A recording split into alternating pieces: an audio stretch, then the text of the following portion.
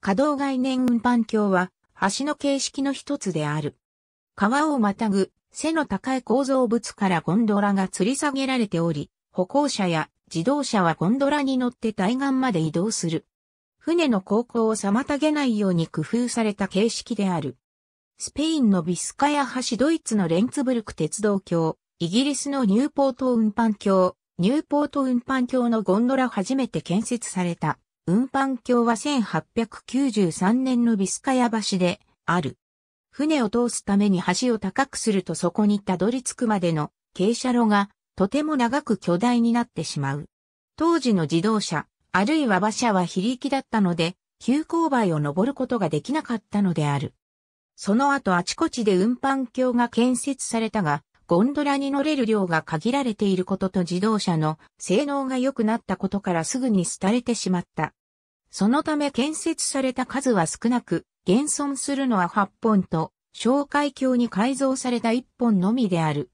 運搬橋が最も多く建設されたのはフランスで、5本が建設され、1本が途中まで建設された。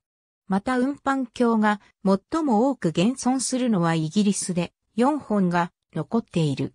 ニューポート運搬橋は1906年に薄ク川に架けられた。理由は包みが低いことと、干潮時には渡し船が航行できないことである。ミドルスブラ運搬橋も同じような例である。アメリカ合衆国には2本の運搬橋が建設された。